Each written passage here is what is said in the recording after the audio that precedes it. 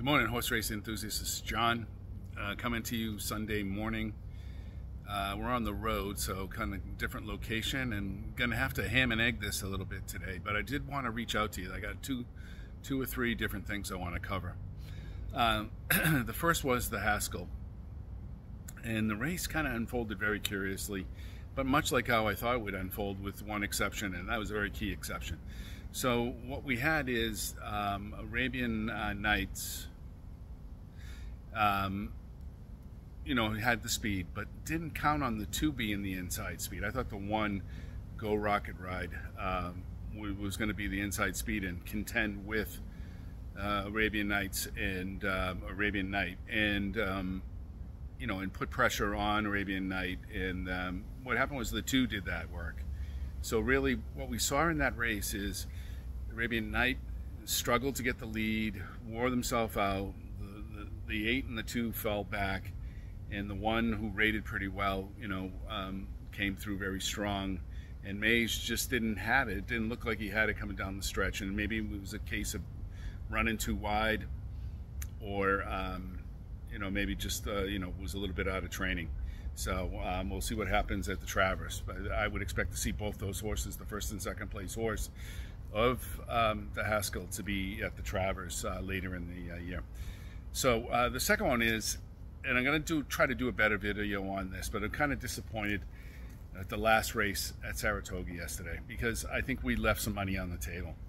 And in particular, I wanted to call out this, this sort of um, angle for handicapping that I think is uh, pretty worthwhile. So, you know, if you watch that race again, you'll see that the 11, St. Shelby, or Selby, uh, won. And one of the angles that I always like to find when I'm looking for long shots, right, because this was a pretty decent long shot. The morning line was 15 to 1, and I think it went off thereabouts or maybe even a little bit better. But um, what you'll see is if you look at the this angle, I love, and I'm just so uh, disappointed that I missed it. But you'll see about um, I don't know four or five races back. This this horse was running at this caliber race, the caliber race of yesterday's, with speed figures in the 90s. Um, the average was 89, right? So that's the Beyer par. That means the average horse that wins this race runs an 89, right, on this track. Um, and you see that this horse ran 90, 92, 92 in at six furlongs. And with uh, the same jockey that they had this time around. I mean, all the angles are right there. We just missed it. And when this was a pretty good pay, it was like a $25 pair, I'm thinking offhand, if I remember correctly. So I was really disappointed with that. Um, these are the angles that you see because like let's go back and, and say these owners want to win here. And Bob uh, Rob Atras, 20% uh, uh, trainer. Uh, you put Kamuch on him which he was another 23% so I just I just left me with a feeling that you know we left a little something on the table there. So um, just remember that angle. That's and, and, the quickest way to do it is there is a box in the upper left hand corner. It's kind of the box to the left of the upper right hand corner, excuse me, of the daily racing form. And what you'll see under where it says life, you'll see like this horse in particular ran 11 times, four wins, you know, one second, one third, won $276,000, and then had a that 92 right there that you see to the uh, to the right there. That means that's the highest speed figure that it received for this race, right? So, this type of race.